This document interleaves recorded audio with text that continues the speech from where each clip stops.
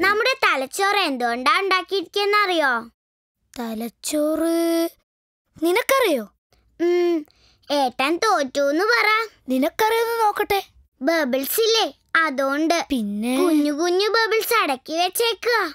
അതാണ് ആരെങ്കിലും ചിന്തിക്കണ പടം വരയ്ക്കുമ്പോൾ ബബിൾസ് തലേന്ന് പോകണ